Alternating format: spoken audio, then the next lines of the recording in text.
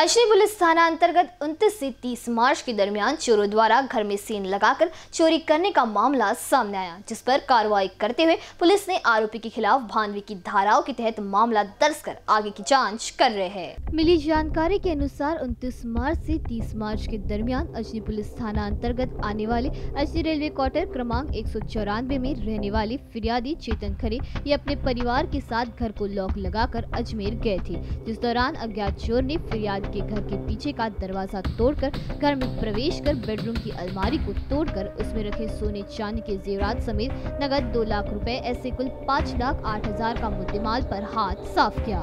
ऐसी जानकारी वरिष्ठ पुलिस निरीक्षक शुभांगी देशमुख ने दी। रेल्वे क्वार्टरमध्ये राहणारे श्री चेतन खरे घरी ती चोरीची घटना झालेली आहे. दहा तोळे जवळपास सोनं आणि दोन लाख कॅश चोरी गेल्याची तक्रार त्यांनी आपल्याकडे दिलेली आहे.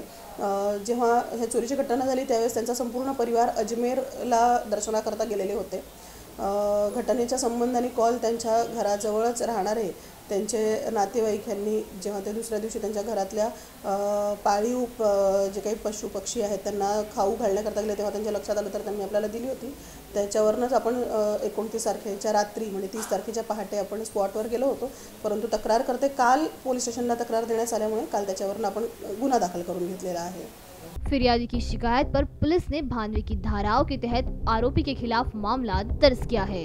आगे की जाँच जारी है। कैमरा पर्सन अखिलेश भारद्वाज के साथ दिशा हटवार बी न्यूज़ नागपुर।